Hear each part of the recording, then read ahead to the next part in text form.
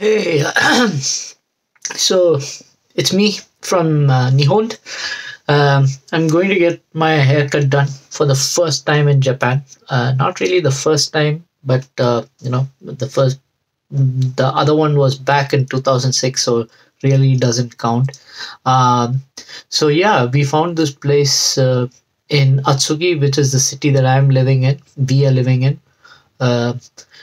Uh, I don't speak any Japanese, obviously. Uh, just came here like a month back, so I'm just gonna go out and try uh, uh, try my luck really. So this is what I look like uh, before my haircut. Uh, I hope the outcome is not too terrible. Um, but yeah, fingers crossed. Yeah. By the way, my I think my you know the selfie stick is broken. That's why you'll see me like you know uh, my hand too much in the video. All right, so that's that. Uh, I got a longer video on the works uh, in the works, uh, just talking about you know uh, just getting started in Japan.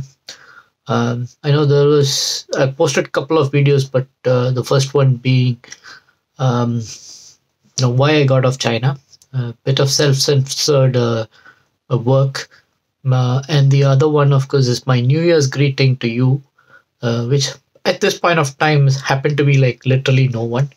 Um, anyways, uh, a bit of ramble here, uh, but I promise the next one, the next video is going to be a little bit more structured.